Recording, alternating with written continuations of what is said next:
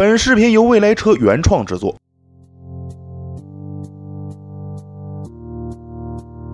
现在越来越多的人去西藏喜欢自驾游或者穷游。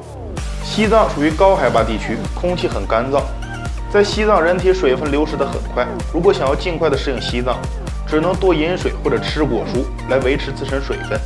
所以去西藏旅行的话，小编建议多带一些矿泉水，并且尽量不抽烟。水是必不可少的。有些网友说川藏线水源充足，但是众所周知，每年去川藏线旅游的人岂止少数。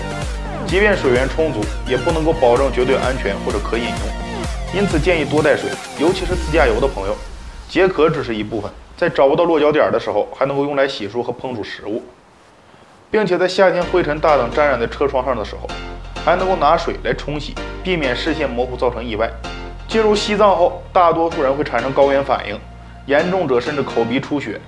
多饮水，保持自身水分，可以缓解高原反应。最重要的是，汽车开久了会导致汽车高温开锅。尤其是在进入西藏以后，则可以用水散热，以此来保持车子的整体温度，避免温度过高，并且在汽车水箱缺水的情况下，还可以用来补给水箱。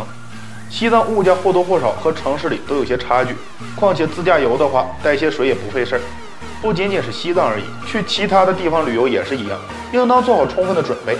当然，你也可以在计划旅行时查找旅游攻略，毕竟去旅行玩的开心是最重要的。